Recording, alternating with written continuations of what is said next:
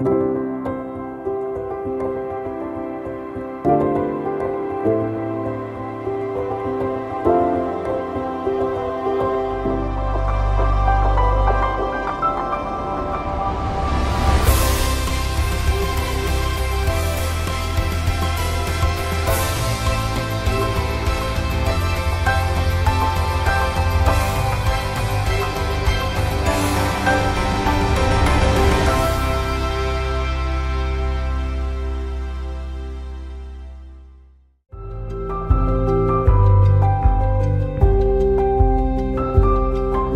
Our shepherd for tonight is Bishop Pablo Virgilio David, fondly called by his flock as Bishop Ambo.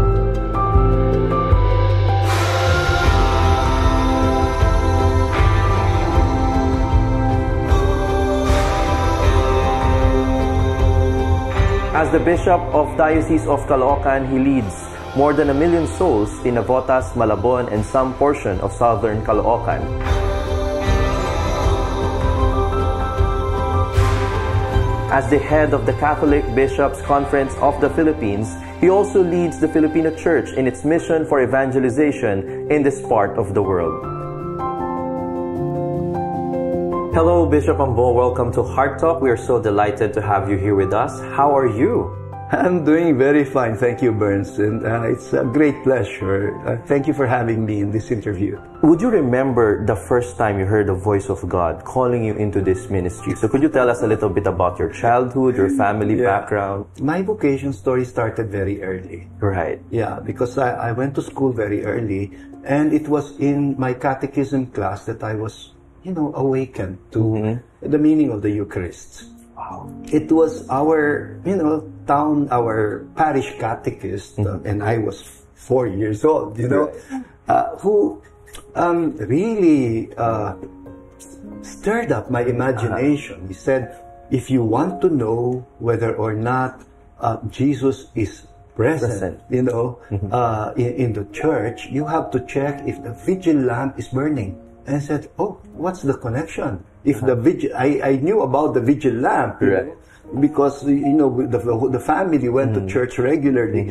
And i always noted that there was a hanging vigil lamp there that it was always you know burning. Right. and the vigil lamps were never electric. They were you know real oil Candle, lamps. Yes, yes, the time so i said what's the connection? Said if it's burning it means um, the lord is present Uh-huh. you know in the tabernacle and and said in the form of the eucharist in the consecrated host I said, oh, wow. So what I did was every day, and you know, I, I entered grade one at four years old. Okay. Imagine that. Grade school. Very early. good. Yes. Very early. yeah, I graduated uh, in grade school at uh, 10 years old. Mm-hmm. And from home to school, Mm-hmm. uh, I would drop by the church and then check if the vigil lamp was burning. Uh-huh. And if the vigil lamp was burning, you know, I, I, I would say to myself, "Oh, Jesus is, Jesus here." Yeah, and then I didn't even know what to say to Jesus. I said, "Hello, I'm here." That's all. And then on my way back from school to church, I would drop by again, that's twice a day, Okay. just to check if Jesus is present. You know, and that sort of made me develop a very personal relationship with Jesus. You know, one day uh, I went to church and the tabernacle was open and, and the vigil lamp was off. Mm-hmm. Okay. It wasn't burning. Right. And I panicked. And I ran to my mother and said, Mama, what's the matter? Jesus is not in the church. and he said, What do you mean? What are you talking about? He said, The tabernacle was open and and and the vigil lamp was not burning. And according to our catechism, if it's not burning, then Jesus is not there. And I said, Oh, you didn't hear about it. You know, our parish priest got sick. Hmm. So he had to be pulled out and he was given a sick leave. And so we hold no mass in the parish. Okay. I see. And said, and, and when there is no mass, there's no Jesus. and then I connected the mass with Jesus. Yes. So if, if there is no priest who can celebrate the mass, there will be no Christ in the tabernacle. And so I asked my mom, do you think I can become a priest, mom? Wow. And my mother, many years later, would remind me of that, that question. And, and my mother said, well, we'll pray about it. Uh-huh. We'll pray for it. You know, I would love that if you really are called, you know. And how did I know that that was really the beginning of my calling already? So the period of discernment started when you were younger. Yeah. It continued up until high school. When do you remember the moment? Well, that was after graduation in grade school. All right. Yeah. Okay. And it was after I graduated in grade school that a seminarian came to uh, the elementary school and started talking about the seminary. And then when I went home, I reminded my mother. I said, Ma, you promised that you would allow me to enter the seminary. I said, but you're only gradu- you've only graduated from grade six. I Right. said, yeah, but they said I could enter minor seminary. Okay. And my mother hesitated. He said, Aren't you too young for seminary? And I said, No, no, I think I think that would be nice if I can study already in the seminary. And she allowed me. And so there, I entered minor seminary. It was actually a regular high school, you know? Right, right. And we had a lot of time to be to to, to be with family also. So usually, you know, the weekends were with family and the weekdays were in the seminary. So, yeah, four years of minor seminary, and then I uh, applied at San Jose Seminary with the Jesuits of the Ateneo de Manila. I see. And that's where I did my philosophy, my uh, college uh, seminary formation years. For another four years, I graduated philosophy at the Ateneo and then went into theology. Theology. Yeah, and then five years of theology, still at San Jose Seminary, still under the Jesuits. And then I got ordained at a young age of 24. 24. Imagine that. Yes, I that, can imagine. That was still part of the old canon law because now in the new canon law, the minimum age is 25. 25. And you would need a dispensation, you know, if uh, you are underage. But yeah, at that time, 24 was quite okay. Bishop, discernment and doubt would always go together, especially when you have a vocation. So could you tell us a little bit more about the spiritual direction that you received back in the seminary? Well, the most serious spiritual direction I got already from the Jesuits. Mm-hmm. Yeah, because the Jesuits always put together prayer and discernment. you Right. know? It's like as you grow in prayer, you grow also in the gift of discernment. And and of- actually, they encouraged us to pray for the gift of discernment. You know, listening to the movements of the Spirit. You know, uh, that was new to me. And um, I had, you know, very good spiritual directors who were excellent listeners. Right. Yeah. And I, I do believe that uh, spiritual direction really to a great extent is accompaniment, you know. And I felt that my spiritual directors accompanied me spiritually. They said they would rather be called co-discerners than spiritual directors. Yes, that's a beautiful They said, uh, we're not here to direct you. Yes. Your only director is really the Holy Spirit. Right. So we're here to accompany you and to teach you how to sensitize yourself to the promptings of the Holy Spirit. And yeah, I picked it up very well from the Jesuits. When you were ordained, did you even imagine you will be one of the bishops, successor of the apostles? Yeah, being bishop is a ministry. So no, never imagined, even in my dreams. Right, right. I was happy enough as a professor of uh, scriptures. And uh, in fact, I was ready to dedicate my whole life as a teacher in the seminary. Yeah, I was specially trained for biblical studies, and then I was assigned in the seminary. Um, I was assigned in the parish also for a little while, but oh my goodness, 17 years of my early ministry as a priest were spent as a professor. So I was a teacher in schools of theology. I was uh, teaching in the in the seminary, Right. and I found it very meaningful to be accompanying young men uh, who are also searching and trying to discern their vocation. But uh, contributing to their intellectual uh, formation was very enriching also for me.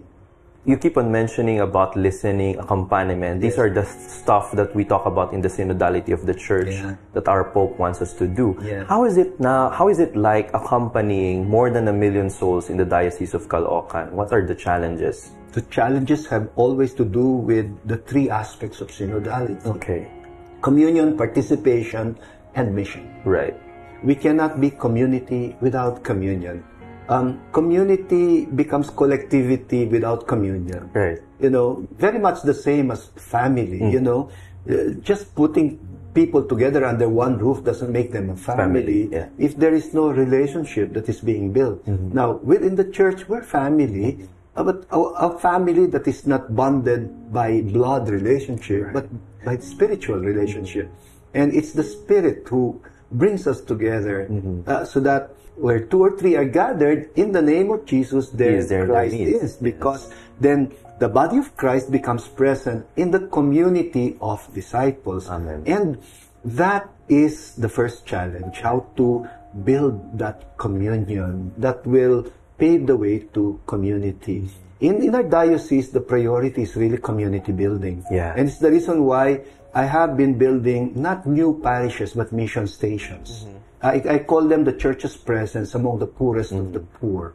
I have partnered with religious congregations and missionary congregations, uh, you know, and deployed them to slum communities Right. and to live with them, to live with them. And, you know, I call it the church without a church, you know.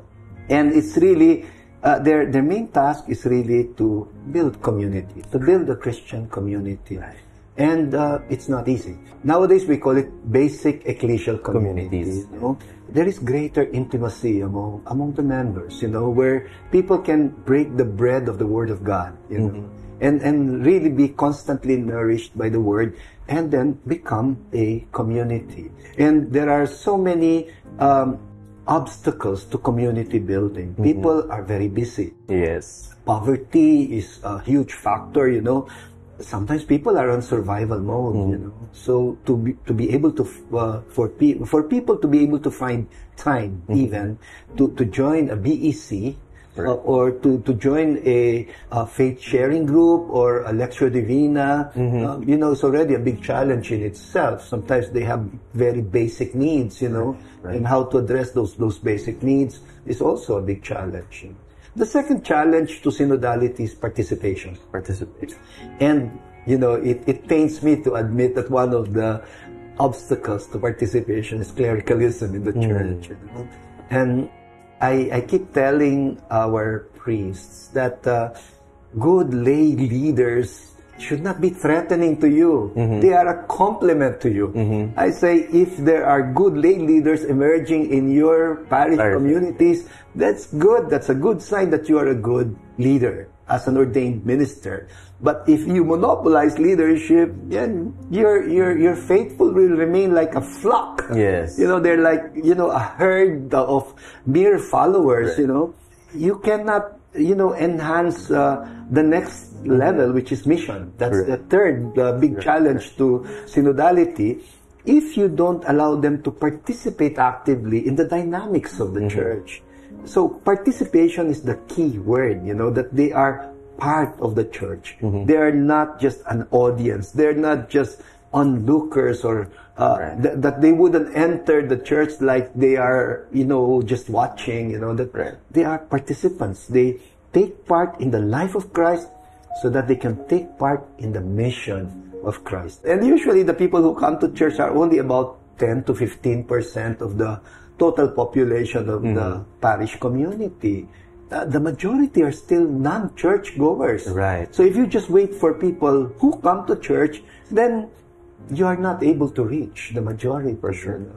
So that's why I keep challenging uh, our priests to start establishing mission stations, uh, which is our response to Pope Francis's challenge to go out to the peripheries, Peripheries. yeah, Yes. uh, and and to seek them out. You know, that has a lot of challenges with it. You know, because uh, like uh, the tendency, like I said, is to wait, you know, and with just the people who come to church regularly, the mm-hmm. priests are very busy already. Mm-hmm. And believe it or not, our, our priests are burned out. Right. Because there are so few. You mm. know, I was even surprised that there are more priests in India mm. where, you know, Catholicism is a minority. Here, mm. Catholicism is a, ma- a majority, but uh, we don't have enough priests. I'm just wondering, the participation that you mentioned, the synodality of the church, this is the vision of Pope Francis and even the Second Vatican Council Yes. and the Plenary Council of the Philippines Yes. in the 90s. I'm wondering, how can lay people help you, our bishop here in the Diocese of Caloocan and other prelates of the church in this, in the renewal of this spirit of evangelization in this side of the world? actually, if only we can take synodality very seriously, then uh, we can take communion, participation, and mission as seriously. That means that we consciously uh, promote ministries, not Right. just the ordained ministry, but lay ministries as well.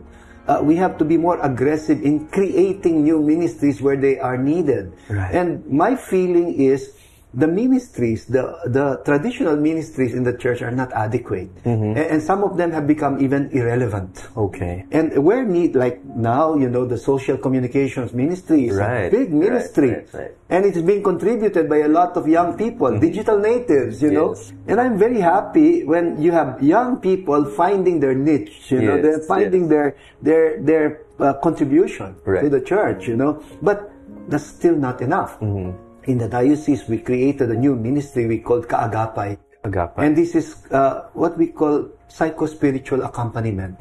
There are people endowed with the basic gift of empathy and the gift of listening uh, and being able to accompany people, especially those who are going through mental health issues. You know? It's the ministry that is very useful, especially for drug rehabilitation, addressing anxiety disorders and depression, grief, uh, counseling, you know, and all of this. I'm finding a lot of new volunteers in this new kind of ministry. So that's what I'm talking about as uh, energizing uh, evangelization work in the church. We have to be more aggressive in allowing lay people to participate and to discover, first of all, their own lay vocation. Right. The priestly and religious vocations have to complement the lay vocations, you mm-hmm. know.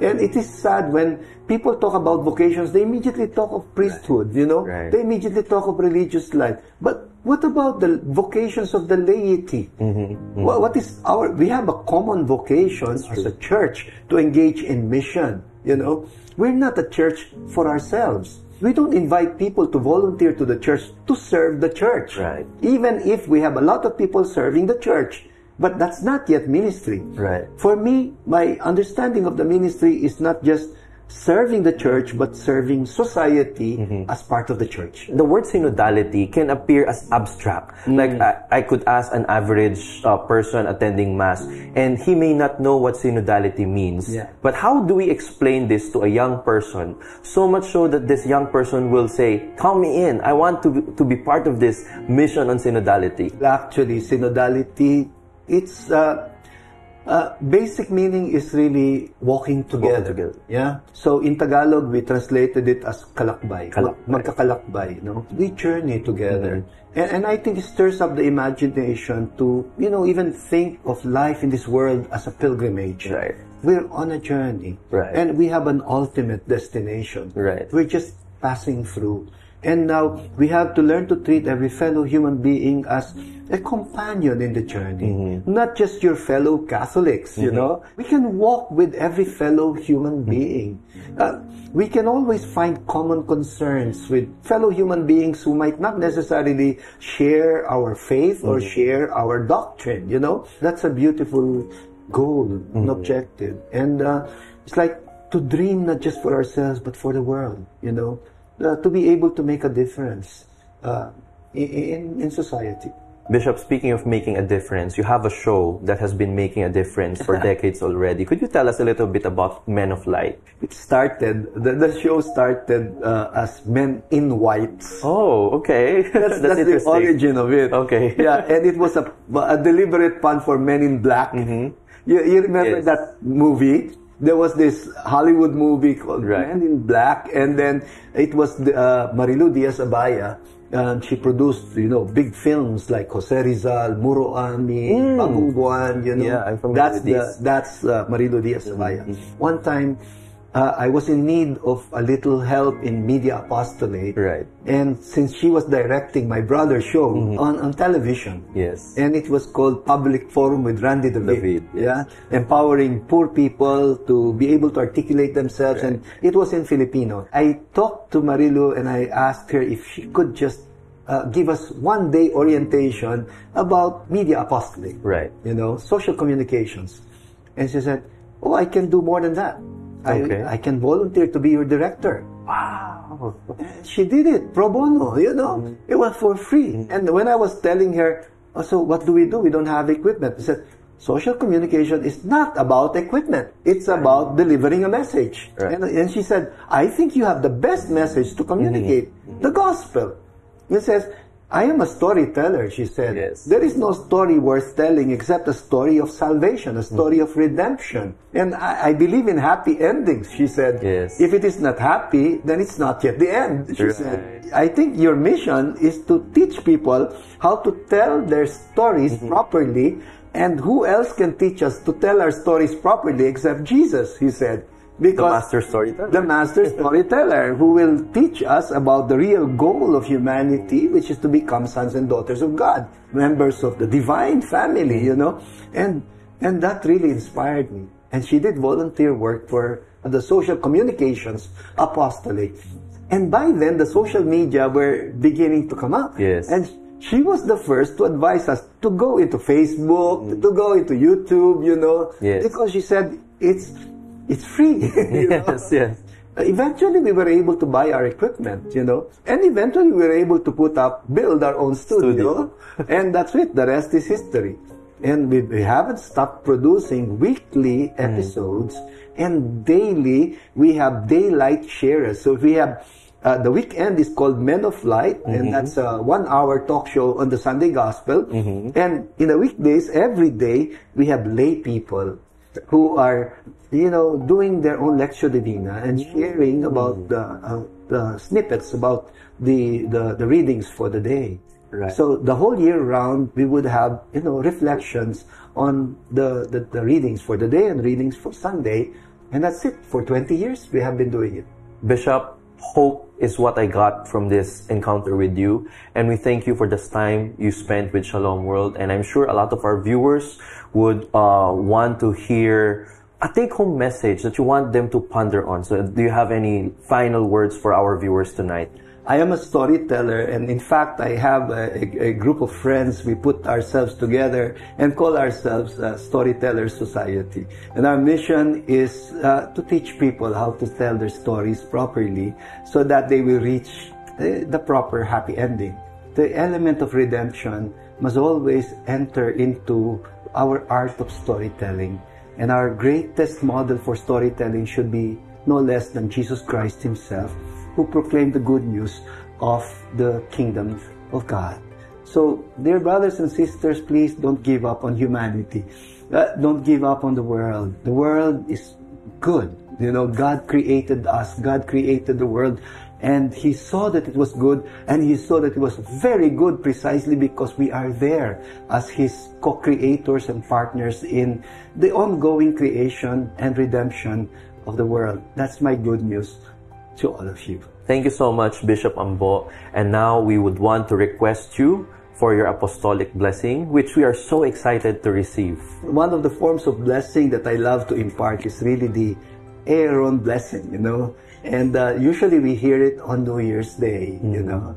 And that's the blessing that Moses taught the Israelite people, especially the parents, to impart on their children. So I would like to give you this uh, blessing. May the Lord bless you and keep you. May the Lord let his face shine upon you and be gracious unto you. May the Lord look upon you kindly and give you peace. And may Almighty God bless you all, the Father and the Son and the Holy Spirit. Amen. Amen. Friends, thank you so much for joining us in Heart Talk tonight with Bishop Ambo David. We look forward to having you once again as we encounter another shepherd of the Catholic Church. God bless everyone.